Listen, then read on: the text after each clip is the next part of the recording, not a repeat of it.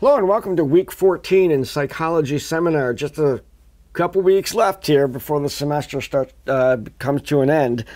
So we are again in lesson seven, continuing to talk about assessment, but this time we're moving into non-academic skills.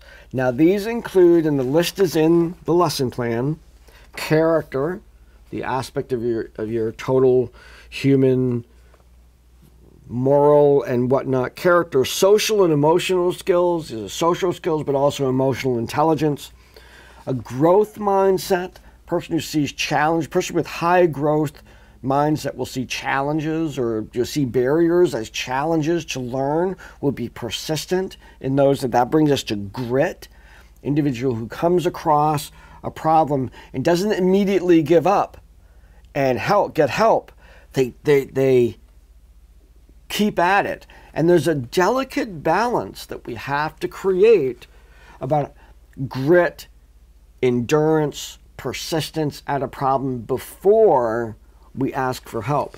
My perception has been that in many ways, because of computers, because of the internet, we ask for help too early.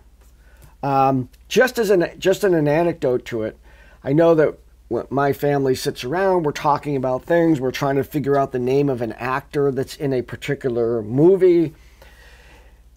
We used to spend all kinds of time doing that, and maybe that was a waste of time, maybe not, but it was exercising our skills, our cognitive skills to try and remember that person's name. Now we just look it up on our phones, and I wonder if maybe there's just too much ease of getting information and not enough need to develop, not enough opportunities, I guess, to develop that kind of persistence at a problem to figure it out. And the process of figuring it out actually results in better learning. So just some, some contemplation about that for you. Some other areas, metacognition, the ability to think about your own processes of learning and apply them to different situations. This is really where the concept of learning styles actually has some validity.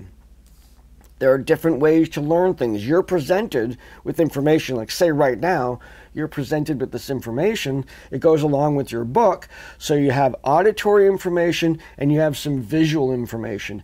If you want, if you could actually look at your strategies and say, well, I'm really much more comfortable learning information. My preference is through tactile or sensory motor type learning.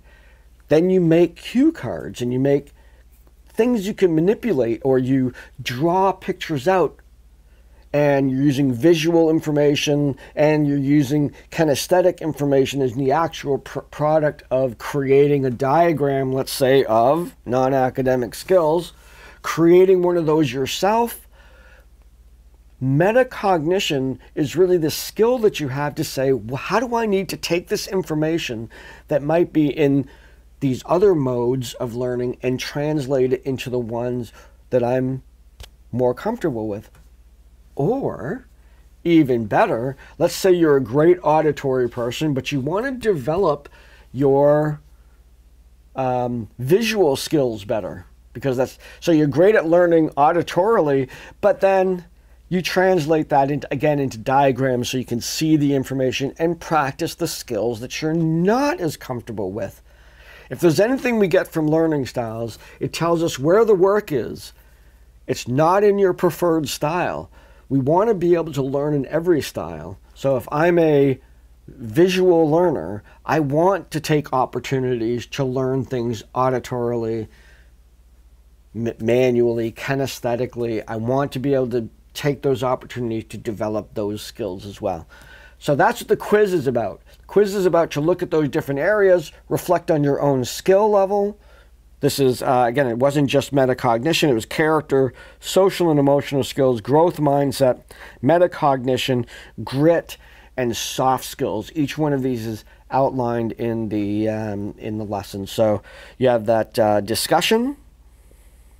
I'm sorry, just a quiz.